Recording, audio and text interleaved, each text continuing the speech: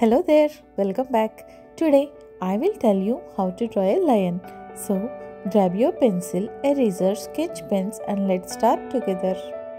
So first I'm gonna draw a circle for the face, ears, eyes, nose, mouth and the mane. After drawing the mane, now I'm gonna draw the legs with paws.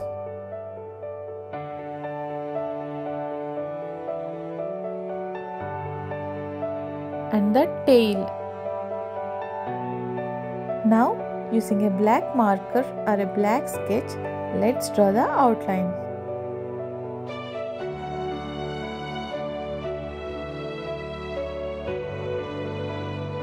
After completing the drawing, let's erase the pencil traces and let's start the coloring.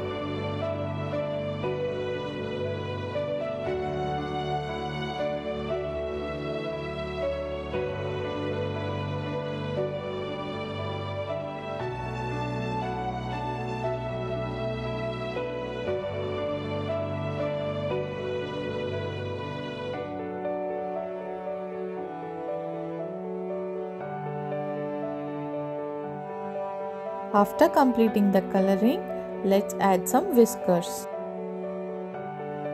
Okay buddies, that is all for today. See you in the next video. Till then, bye bye.